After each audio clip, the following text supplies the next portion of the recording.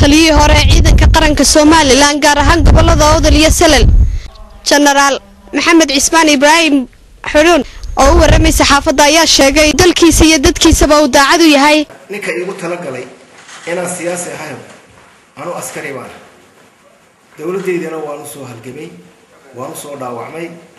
Nabadii ee laga dhaliyey xeebaha kowan ka ahaa ninkii ka dhaliyey baan dowladdeedana dhibaato umuuka ninkii lahow dhibaatuu samaynayaa been baad sheegtay. Anugu dhibaato dowladeyda waan jeclahay dowladeyda somalilan welina maalin keliyana kuma fikirin inaan dowladeyda aan dibadaabiyeeyo.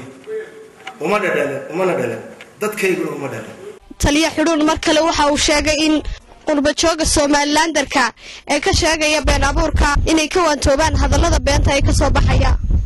Qolooyinka dibadda ka soo hadlaya website-ka waxa weeyaan beenta boqolkiiba sagaashan waxa waa beenaaniga website-ku aniga nimanka dibadda jooga war nimayahow dadkiinnii iyo dalkiinnii waxa weeya abaaraha ku dhacay. Abaaraha wax ka soo tara. Idinkuna wax isku tara. Laakiin aniga dadkii baad culayseen dowladdeydii baad culaysiin ay culaysiiseen nimankiina waxa haddaad wax taraysaan dadkiina soo wax tara.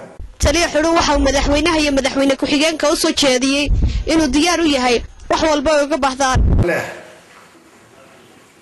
madaxweynaha iyo madaxweyne ku-xigeenka. Daacad baan idii ah laakiin had iyo jeer waxa ka dheeraysa beenta. Daacaddana waxa ka dheeraysa daacad darrada dowladdeeda daacad baan shanad iyo bar waan aamusnaa. Intaana waxun baa laga sheegay wixii laga sheegayay waxba kama jiraan. Dowladdeeda daacad baan ahay. Ninkii hoos wax u sheegi jiro haddaba ogow dowladdeeda daacad baan shan iyo toban sannadood baan u dadaalayay u dagaan wixii aan dhisayna burburin waa markii ugu horreysay uu ka hadlo arrimaha noocan ah.